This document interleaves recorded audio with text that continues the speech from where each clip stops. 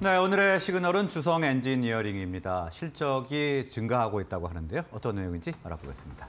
자, 어떤 내용 준비하셨습니까? 네, 사실 이 주성 반, 주성 엔지니어링은 반도체 장비 회사 다들 알고 있고 지금 사실 그 내용보다 중요한 거는 그 반도체 슈퍼 사이클 얘기 나올 때 말이죠. 반도, 네. 삼성전자 12만 전자 얘기 나오고 지금 거기서 이제 5만 5만 원을 갔잖아요. 삼성전자가. 그다음에 반도체 혹한기가 나오고 있는데 한 28번 얘기한 것 같습니다. 나스닥이며 필라델피아 반도체 지수 어? 70년대부터 50년을 통틀어서 RSI 50 밑이라던가 60개월 선에서 반등 안 한 적이 10번도 안 됐잖아요. 그러니까 지금 그런 확률을 안 믿으면 그런 확률을 안 믿으면 뭐를 안 믿는 거냐면 아예 미국 증시는 사라져 있다는 거를 이미 지금 미국 증시가 진행이 안 되고 있어야 돼요. 그러면 네. 세계 최고 증시가 아니며 그러니까 결국 그렇게 주구장창 얘기를 했는데 60개월 선에서 지금 반도체 촉한계 얘기 나오는데 지금 어떻게 되고 있습니까? 필라델피아 반도체 지수는 지금 이 상황에서 뭐 지금 만약에 돌다리를 확인하고 넘어가는 아주 그냥 굉장히 그 침착하거나 아니면 신중한 사람이라도 이제는 지금 확인이 되었으니 지금 돌다리를 또 두들기면 안 돼요. 시간이 없어요. 지금 엔비디아 지금 이 CPU부터 보죠. CPU. CPU를 만드는 인텔이랑 AMD. 우리 인텔 아니면 AMD 그 CPU 탑재된 컴퓨터 사시잖아요. 인텔 에, 인텔은 2%, 인텔이 AMD가 12.63이 올랐고요. 인텔이 2.87이 올랐어요. 그 다음에 GPU 만드는 엔비디아는 7.20%가 올랐고요. 그 다음에 반도체 장비 회사들 보세요. ASM 홀딩스 2.68 올랐죠. KLA 4.41 올랐죠. 지금 램리서치 6.03 올랐습니다. 그리고 삼성전자 SK하이닉스랑 가장 관련이 깊은 메모리 반도체의 3강 마이크론 테크놀로지 3.81 급등했고요. 그 다음에 자동차 반도체 NXP 세미컨덕터스 5.22% 그리고 지금 텍사스 인스트루먼트 2.76 올랐습니다. 그 다음에 삼성전자랑 이제 파운드리에서 메, 마이크론 테크놀로지는 바, 메모리 반도체에서 이제 같이 있는 그 회사고 메, 비메모리 반도체 TSMC 2.16이에요. 지금 전부 다 60개월 선에서 반등. 이제 가- 여기서 가장 강한 KLA는 60개월은 닿지도 않고 20개월은 날라서 지금 역사적 신고가 직전이란 말이에요. 그러니까 지금 여기서 무- 뭐에 있는 게 중요한 게 아니에요, 지금. 이건 다 알고 있잖아요. 뭐 우리나라 대표 장비주 대보세요 하면 원익 IPS, 주성 엔지니어링, 테스 이렇게 나오는 거 아닙니까? 그 주성 엔지니어링은 SK 하이닉스 향이고 원익 IPS가 삼성전자 향이라는 차이만 있을 뿐이고 거기서 이제 뭐 증착 장비를 주력으로 하는데 요즘에는 뭐 어, 이 원자 원자층 증착 장비를 주력으로 한다. 왜냐면 나노가 점점 줄어드니까 그게 필요하니까 그건 다 알고 있고 아까 전에 말한 뭐 KLA나 램리서치나 어플라이드 머티리얼즈, 어플라이드 머티리얼즈 안 보여드렸네요. 어플라이드 머티리얼즈 같은 세계적인 장비 회사보다 인지도가 떨어지고 세계적인 점유율을 떨어지는 거는 다 알고 있어요. 당연하죠. 주성 엔지니어링 원이, 원이가 IPS가 우리나라에서 최강자지만 세계에 나갔을 때 세계적인 장비 회사에 뒤진다는 건 누구나 다 알고 있단 말이에요. 근데 지금 그게 중요한 게 아니에요. 그게.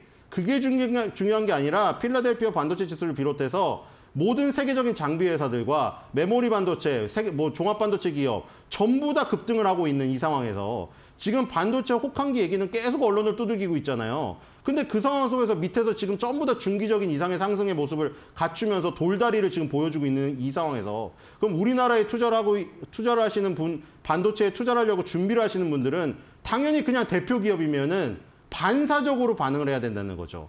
그게 주성 엔지니어링이 됐든 원익 IPS가 됐든 아니면 후공정 업체가 됐든 그건 중요한 게 아니에요. 어차피 순환매가 돌게 되어 있어요. 주성 엔지니어링도 SK 하이닉스 향 으로 지금 강한 연결고리가 있기 때문에 SK 하이닉스 주성 엔지니어링을 좋아하시는 분은 그걸 택하시면 되는 거고 삼성전자 원익 IPS 라인을 좋아하면 그걸 택하면 되는 거예요. 근데 그거는 약간 조금 이 작은 문제예요. 작은 문제고 지금 큰 흐름은 반도체가 혹한기라고 두들기고 있는데 지금 돌아서고 있다는 거죠. 그게 중요한 겁니다. 그리고 주성 엔지니어링의 주가는 어디 있습니까? 바닥에 있어요. 그러니까 지금 여기서 여기서 행동을 개시를 안 하면 한참 또 나, 저기 올라가지고 나중에 또 무슨 얘기 나오겠습니까? 반도체 그동안에 쌓아놨던 재고 다 처분되고 이제 막 생산이 바빠가지고 가동률을 100%로 올리고 반도체 호황기가 온다. 삼성전자 10만 전자 얘기 나오면서 또 그때 가가지고 또 그쵸? 그렇게 될 바에는 지금 돌다리 몇 개 생겼을 때 연못을 건너는 게 낫죠 이제는. 지금 그런 그런 생각을 하시면서 반사적으로 반응을 해야 될 때다 이렇게 말씀을 드리겠습니다. 네, 반도체주와 반도체 장비주 흐름을 잘 체크를 해봐야 된다 이렇게 말씀을 해주셨고요. 어, 관련해서 가격 전략도 좀 볼까요? 네, 어차피 뭐 내용은 다른 때도 말씀드릴 수 있기 때문에 그게 제일 중요한 것이고요. 지금 주성 엔지니어링 60개월선 그리고 120개월선 뭐 다 뭉쳐 있는데 지금 있습니다. 지금 이 2020년도 3월 달에 올라, 올라갔던 가격 4,000원 여기에 비해 높죠?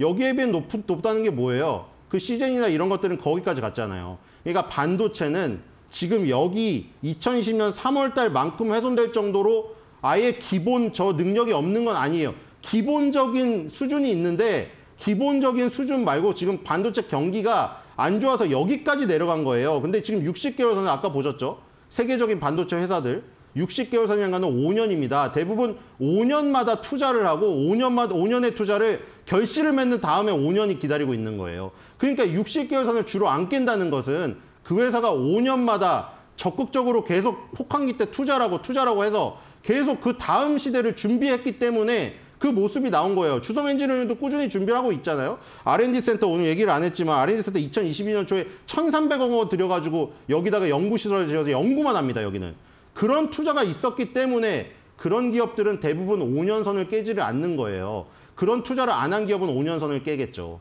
주성 엔지니어링의 그런 투자나 이런 이 예전에 있던 레퍼런스들을 믿는다면 60개월 선은 아주 최저점에 살 수 있는 기회다. 이렇게 보시면 될 것 같습니다. 네, 주성 엔지니어링의 준비를 보면 60개월 선은 최저점으로 살 수 있는 기회다. 이렇게 정리를 해보겠습니다. 자, 오늘 말씀은 여기서 마무리하겠습니다. 고맙습니다.